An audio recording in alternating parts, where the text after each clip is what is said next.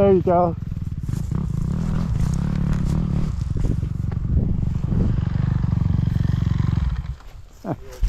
Yeah, that one was all back.